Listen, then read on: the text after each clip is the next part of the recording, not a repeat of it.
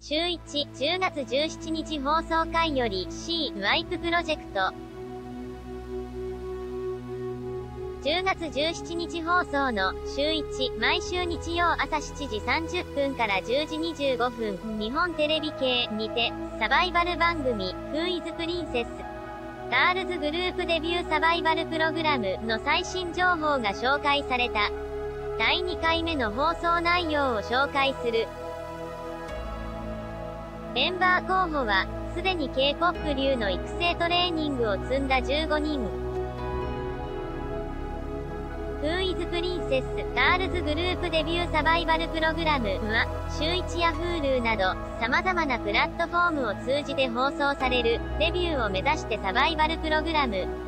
従来のオーディション番組のような参加者を募るシステムではなく、すでに練習生としてアーティストを目指していたメンバーがデビューを競う韓国アイドル式で選考が進んでいく。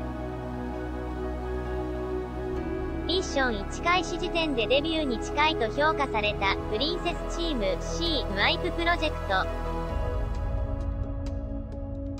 15人の練習生は、ダンスも歌もハイレベルな13から19歳の少女たち。番組では数々の過酷なミッションに挑戦し、その度にデビューに近い、プリンセス組と、プリンセスを目指すチャレンジャー組に振り分けられ、最終的に、プリンセスの座を獲得した5人がデビューとなる。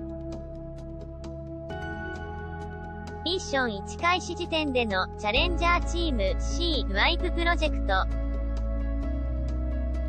審査会を経てプリンセス組と判断されたメンバーは、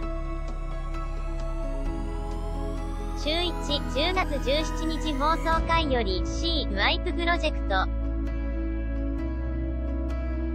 前回の放送で、それぞれの課題曲をパフォーマンスしたプリンセス組とチャレンジャー組。それぞれが今できるベストを披露するも鬼コーチ、ウンギョンは、すごく期待していたんですが、すごくがっかりです、など忖度なしの評価を下した。ネクスト、初の脱落者発表。その時練習生は、2分の2。